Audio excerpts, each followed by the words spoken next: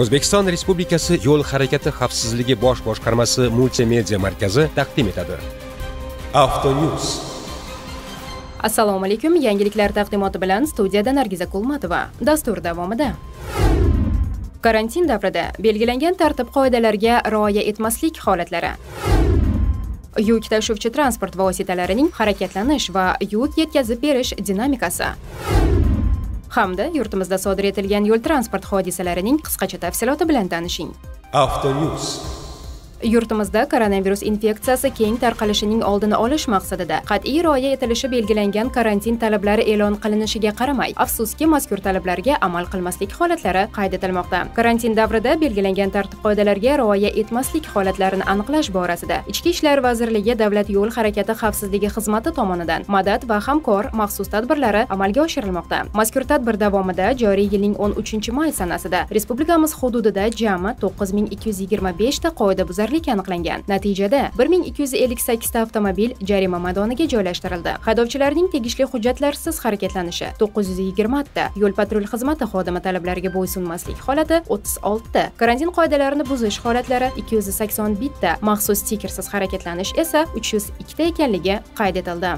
Avtonews hozirgi kunda respublikamiz bo'yicha 47 ta yo'l patrul xizmati maskanlari hamda 264 ta blok post va to'siq postlar tashkil etilgan bo'lib ular orqali respublika hududida koronavirus pandemiyasi vaqtida fermer dehqon xo'jaliklari hamda tomorqalarda yetishtirilgan qishloq xo'jaligi mahsulotlarini tashuvchi yuk va yengil avtomobillarning erkin harakati ta'minlangan. Jumladan 2020 yilning 13 may holatiga 2661 ta yengil hamda yuk tashuvchi avtomashinalar tomonidan 10500 tonnadan ortiq oziq ovqat va qishloq xo'jaligi mahsulotlari o'z manziliga yetkazib berildi.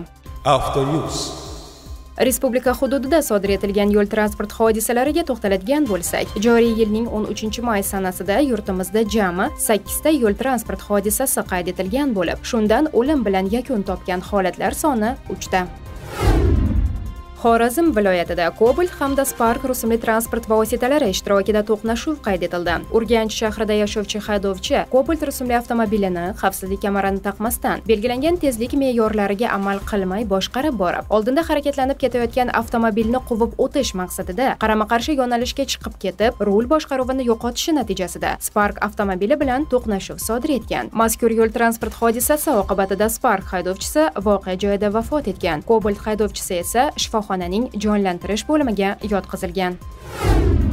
Qashqadaryo viloyatida avtomobil xavfli burilishda sirpanib ketishi natijasida yo'l transport hodisasiga uchradi. Mirishkor tumanida yashovchi haydovchi boshqaruvidagi nexia rusumli avtomobilda tezlikni me'yordan oshirib harakatlanishi natijasida yo'lning xavfli burilish qismida sirpanib rul boshqaruvini yo'qotib yo'l chetidagi daraxtga borib urilgan. Sodir etilgan yo'l transport hodisasi oqibatida nexia avtomobilining xavfsizlik kamarini taqmagan yo'lovchisi voqea joyida vafot etgan. Farg'ona viloyatida yo'l transport hodisasi voyaga yetmagan velosipedchi ishtirokida yuz berdi. Marg'ilon shahrida yashovchi haydovchi cobalt rusumli avtomobilda oltiariq tumani hududida o'rnatilgan yo'l belgilariga amal qilmasdan harakatlanish natijasida. Yo'lning qatnov qismini kesib o'tayotgan voyaga yetmagan velosipedchini ko'rib tezligini kamaytirib uni o'tkazib yubormaganligi sababli yo'l transport hodisasini sodir etgan. Oqibatda velosipedchi tan jarohatlari bilan shifoxonaga yotqizilgan. Avtonews hurmatli harakat ishtirokchilari karantin maskanlarida o'tkazilayotgan chora tadbirlar xavfli infeksiya tarqalishining oldini olish maqsadida amalga oshirilayotganligini unutmang. Shu bois aziz yurtdoshlar karantin qoidalariga amal qiling. Zarurat tug'ilmaganda maqsadsiz ko'chaga chiqmang. Sinovli kunlarda oilangiz bag'rida bo'ling. Uyda qoling.